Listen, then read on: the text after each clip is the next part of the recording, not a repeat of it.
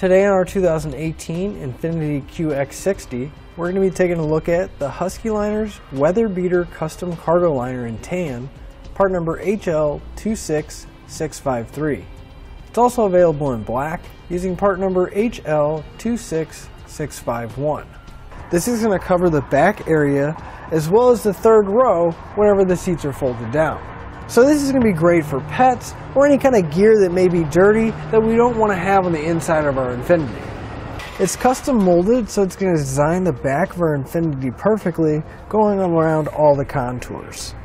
The ribs are going to keep all of our gear raised up just enough so that the channels can divert all the water and debris away and the raised edges are going to make sure that that doesn't seep out onto the carpet or out the back of our hatch.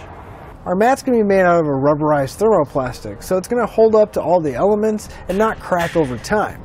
It's also going to be resistant to most automotive chemicals like gasoline or oil.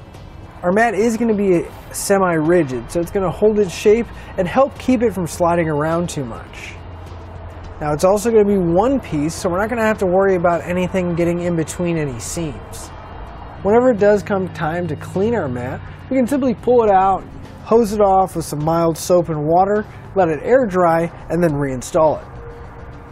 That'll finish up your look at the Husky Liners Weather Beater Custom Cargo Liner, part number HL26653.